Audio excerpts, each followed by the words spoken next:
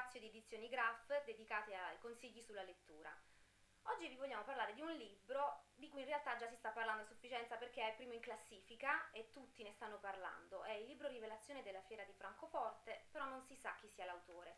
Vi sto parlando dell'ipnotista di Longanesi, di questo misterioso Lars Kepler di cui si sa poco o niente.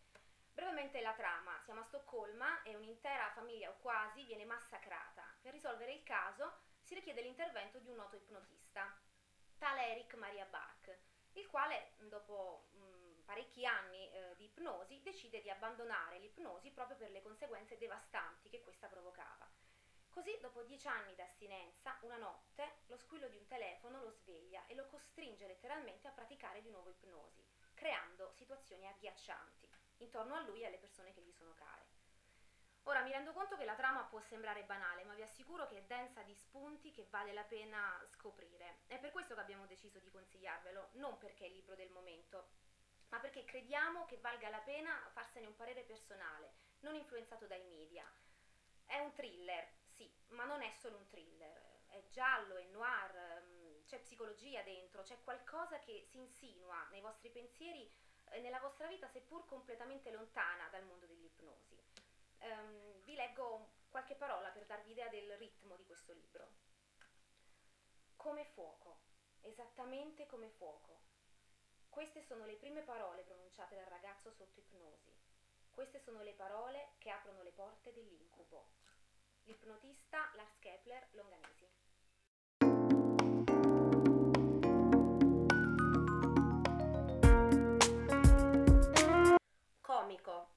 caustico, eccessivo, irresistibile. La futura classe dirigente è l'attraversamento della linea d'ombra, nell'era della demenzialità istituzionalizzata e della volgarità al potere. Ma è anche l'analisi amara e impietosa di un paese, attraverso la messa alla berlina della sua santa trinità, la famiglia, il sesso, la televisione. Questa settimana vi proponiamo la futura classe dirigente di Peppe Fiore, edito da Minimum Fax, un libro che si rivolge ai trentenni italiani precari con alle spalle laurea, master, corsi, stage, pagamenti fasulli e perché fotografa perfettamente il momento storico che l'Italia sta attraversando. Ciò che maggiormente colpisce di questo libro è sicuramente il modo in cui è scritto, una lingua sperimentale di ricerca che accoglie il parlato, ehm, appunto piena di umori linguistici. Un libro, devo dire, agrodolce, con quella risata malinconica tipica della commedia all'italiana. E lo stesso autore, Peppe Fiore, ha dichiarato di essere attratto dai personaggi sconfitti, perdenti, patetici, perché sono così umani.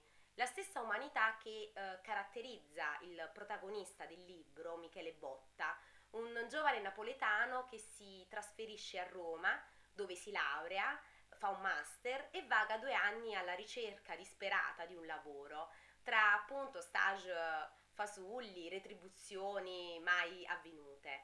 Ad un certo punto viene assunto da una società di produzione televisiva, una realtà dinamica, giovane e ha così modo di confrontarsi con il mondo del lavoro e il mondo adulto. Apparentemente la vita di Michele è la classica vita borghese di un adulto medio. Ha una casa, una famiglia che gli vuole bene, anche se in modo aggressivo, una fidanzata che lo ama. Eppure, ad un certo punto, la nevrosi di Michele esplode. Le strutture mentali su cui poggia la vita quotidiana eh, franano e così eh, viene risucchiato dal lavoro che è ai limiti dell'allucinazione. La fidanzata lo lascia, rompe il rapporto con la famiglia e appunto si, dà tutto se stesso nel, nel lavoro. Si ritrova a scrivere per un reality sui cani, dal titolo qua alla zampa, un programma orrendo, ridicolo, che non viene neanche portato a termine. Successivamente scriverà la, la sceneggiatura di una miniserie televisiva su un mitologico regista pornografico degli anni Ottanta. Diciamo che eh, Michele non riesce più a uh, sopportare la situazione, diviene vittima di una confusione mentale alla ricerca di punti di riferimento e compre- gli viene un dubbio.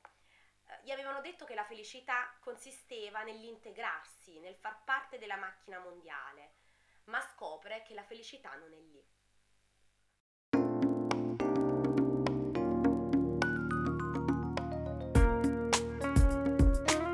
Viscerale Napoli contro l'Algida Torino. Cronaca di una giornata che per il popolo calcistico partenopeo ha il sapore della riscossa. 31 ottobre 2009. Il Napoli torna nel salotto buono del calcio italiano e spugna lo Stadio Olimpico di Torino e batte la Juventus dopo 21 anni. Parliamo di sport ovviamente. Seppelliteci qui di Raffaele Auriemma, l'ultimo prodotto di edizioni Graf, vuole ricordare una giornata che per ogni tifoso è rimasta impressa nel cuore. La giornata in cui finalmente il Napoli ha battuto, dopo appunto 21 anni, la Juventus in casa propria. Non a caso la prefazione è di un tifoso doc, Nino D'Angelo. È l'ultima mh, perla edizioni Graf, imperdibile per ogni tifoso napoletano.